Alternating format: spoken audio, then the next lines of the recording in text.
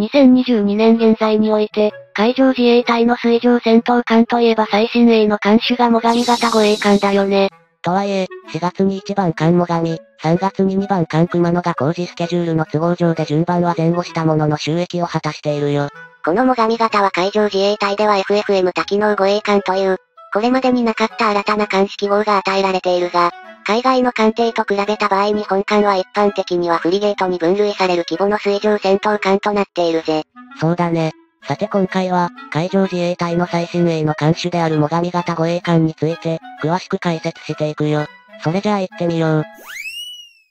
通常の近年の海軍艦艇の種別で見れば、駆逐艦、フリゲート、コルベットという並びで排水量をはじめとして艦隊の規模が小型になる傾向が強く、海上自衛隊ではフリゲートクラスの艦艇は実にここ50年ほどは存在していなかったんだ。最上型護衛艦はそうした艦隊の規模や、従来まではもっと小型の総海艇が担っていた機雷の不設除去といった機能も合わせ持つため、収益済みの最上や熊野は総海隊軍への配属が行われていることも特徴に挙げられるね。さらに今年2022年6月には最上型護衛艦として6番艦に当たる矢作も無事浸水を終えており、中国軍の圧力が増す一方の南西諸島方面の防衛に向けて、しばらくはおおむね1年に2隻ずつのペースで収益が予定されているみたい。最上型護衛艦の6番艦や萩は、今後偽装作業等を進めて来年2023年末の12月に収益を行う予定となっており、同艦種としては今のところ全22隻が建造される見込みであり、その運用期間も約40年が想定されているんだって。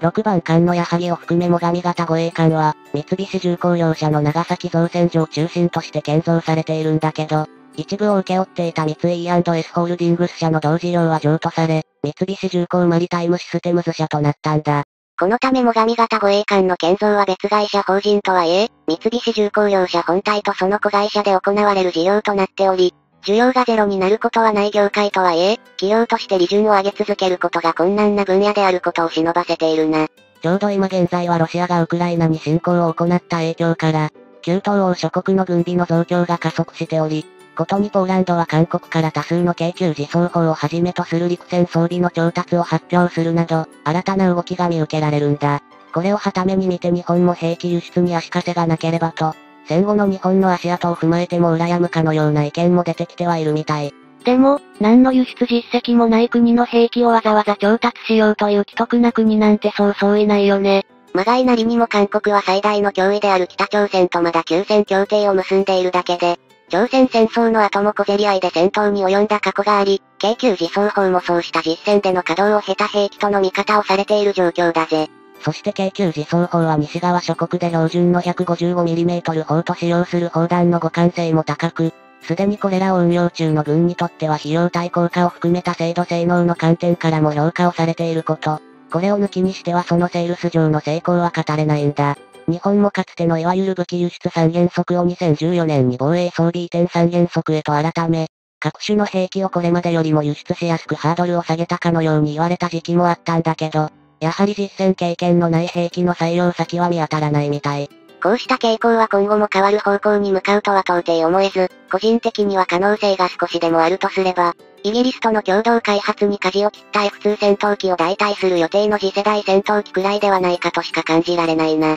それはあくまでも日本製の兵器の質が低いということを意味するものではないが、少なからぬ予算を投じて行われる兵器調達の場において、開発国が実戦経験を積んだ軍隊を持つか否かは重要な決定要因の一つだからな。やっぱりいくら技術的に優れていても、実績がないことには何とも言えないってことだね。日本の技術力が高いことは、日本人が一番わかってるだろうし、なんとももどかしい気持ちだよ。さて、最上型護衛艦から幾分話が逸れてしまったけど、同艦は基準排水量が3900トン、満載排水量が5500トン、全長が133.0メートル、全幅16.3メートル、深さが9.0メートルの艦隊を持ち、回転翼の哨戒機1機を搭載可能となっているよ。機関部にはディーゼルとガスタービンを組み合わせた CODAG 方式が採用されており、前者はドイツの満車製のものを2機、後者はイギリスのロールスロイス社製のものを1機搭載、プロペラは2軸で最大で7万馬力、30ノットの速力を発揮するみたい。最上型護衛艦の建造の構想が始められた際には、最大速力で40ノット超過を目指す案もあったとされるんだけど、こうした性能を実現しようとすれば国際的な遠隔地への派遣任務などで必要となる低燃費との両立が困難とされ断念された模様だね。現在の機関構成においては、ドイツの満車製のディーゼルエンジン2機が低速時の推進を担い、ロールスロイス社製のガスタービンエンジン1機が緊急時や高速航行が必要な際に使用されるという分担となっているんだ。最上型護衛艦で特筆すべき特徴の一つに消費とかを推進したことが挙げられ、乗組員数の定数は90名とされており、これは最上型が代替する予定の阿武隈型護衛艦の120名と比して約25%の削減が図れていることになるよ。最上型護衛艦は、62口径ノンク。5インチ単装砲1機を手法として搭載。この艦砲は対艦砲撃対空砲撃の両方に使用可能であり、その射撃時の統制は多用途に対応するレーダーである TOPY2 によって行われるんだ。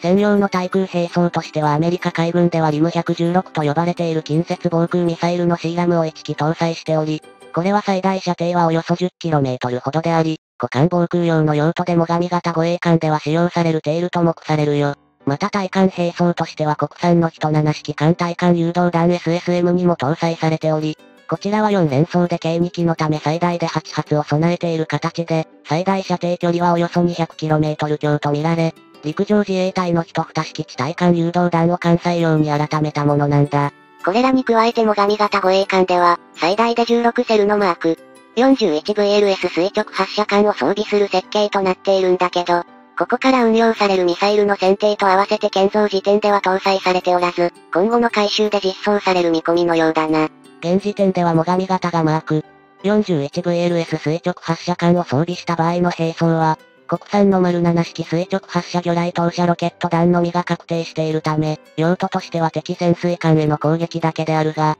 対艦対地両用に使用可能なミサイルが今後は望まれるだろうね。また対戦兵兵装としては 324mm で3連装のマーク、32型単魚雷発射管も最上型は搭載しており、マーク、41VLS 垂直発射管が後日の実装となっている状態でも、一応の対戦戦闘任務への対応も可能な状態にあると言ってよいと思うよ。最上型護衛艦が海上自衛隊の艦艇として新たな艦式号である FFM を付与されたのには、これまでもっと小型の総海艇が担ってきた機雷の敷設と除去という能力を備える艦艇であることがその最大の理由であると考えられるな。対機雷戦闘を行うために最上型護衛艦には専用のソナーシステムである O991 が搭載されているほか、機雷を探知発見するための水中用の無人機と、機雷を除去するための水上用の無人機の両者を運用する能力を備えているからね。これは現在喫緊の課題とされている南西諸島の島嶼部の防衛に向けて、今後想定される機雷による海上封鎖を防ぐ意図が大きく、